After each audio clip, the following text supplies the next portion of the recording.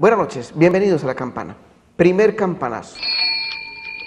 No manejamos la bolita de cristal ni nada por el estilo, ni somos adivinos, pero no manejamos chismes.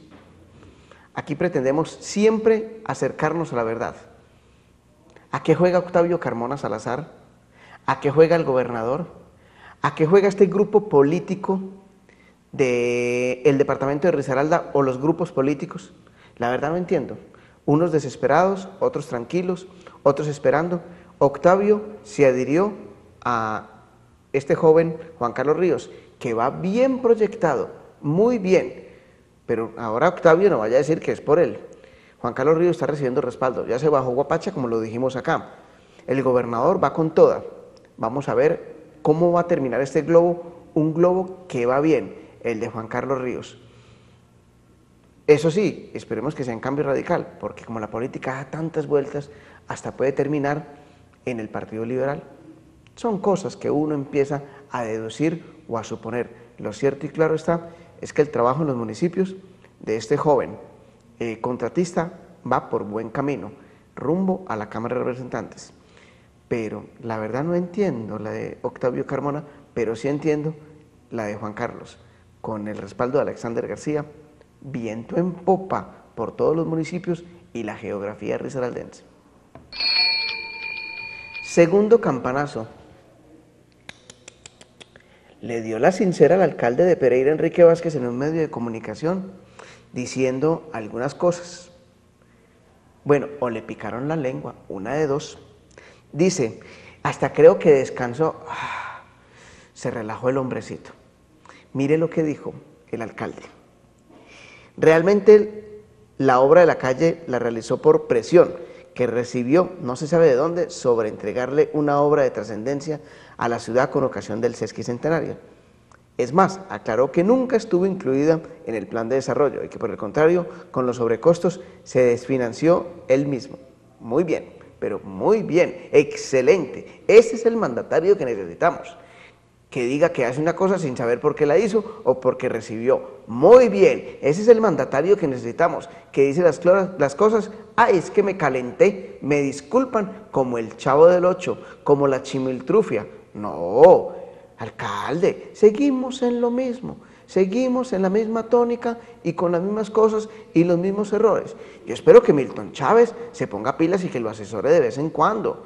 Y si no es capaz, entonces también váyase Milton Chávez. Pero la verdad, eh, esos 7.200 millones de pesos de la calle de la Fundación van dirigidos a beneficiar personas. Sí, sí, sí. A la hora de la campaña, SS, gran ganador en todo.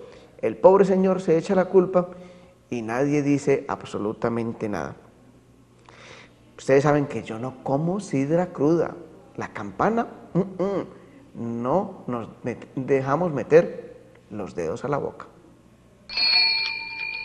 Tercer campanazo, lo dije acá, ya salen los de los cuarteto piel roja, los que van a respaldar a pluma blanca, arrodillados, acolitando tantos errores y tantas equivocaciones en el Partido Liberal entre Juan Manuel y Diego Patiño, porque los dos vienen trabajando juntos.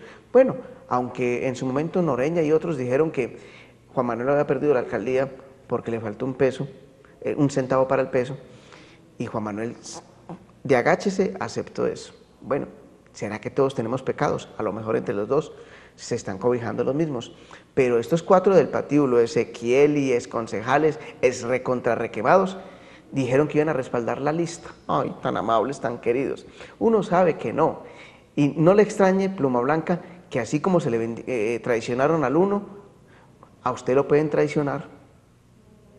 Esa es la política de nosotros, mercenarios, que buscan dádivas personales y beneficios individuales y no pensando en una colectividad solamente de dientes para afuera. Ezequiel, Atilano, todos, qué, qué, qué decepción tan impresionante. Pero bueno, esos son los políticos de nuestra región. Venden hasta la propia madre.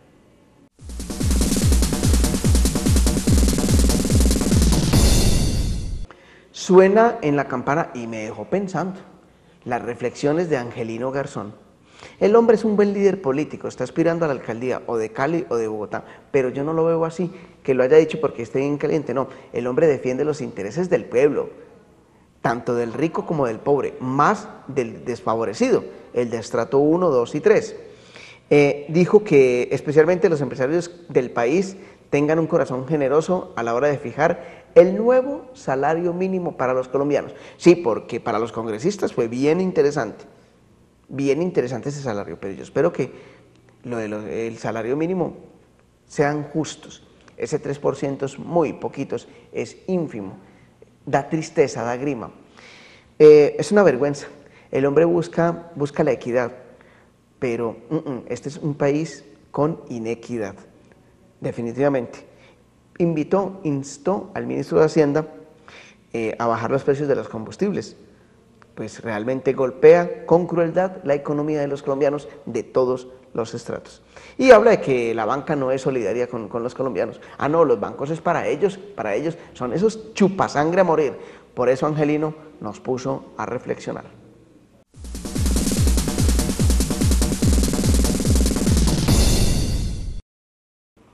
No suena en la campana, es infame e inadmisible. Ole, no hay quien reclame por esto como es. Los políticos, los gremios.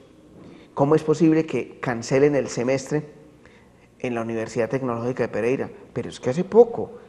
Ole, ¿quién responde por la plata de los sectores más desfavorecidos? De esos padres que tienen que sudarla y meterla para darle la educación a sus hijos. No seamos tan descarados. ¿Quién va a responder? ¿Quién va a asumir eso? Esos costos, el tiempo de esos jóvenes. Simplemente porque yo acepto que protesten, pero unos sinvergüenzas y unos vagos estudiantes eh, inmolados, no sé, o qué pretenden, dañan la vuelta y no dejan a los buenos. No, porque es que somos más los buenos que los malos. Yo no sé, yo espero que, que algo pase, que algo suceda en este tema. Porque la verdad, la verdad, la pregunta yo se las voy a hacer. Padres de familia, y si sale Luis Enrique Arango, que es la razón principal del paro, y entra otro, y este nuevo a los estudiantes no les gusta, entonces van a eh, hacer lo mismo cada seis meses. No, no permitamos eso, por nada del mundo. No jodas, no acabemos con el bien donde está el bien común. No acabemos. Ah, ¿dónde está el bien común de la sociedad? ¿Dónde? Qué vergüenza. El que no está aquí es porque no suena. Hasta luego.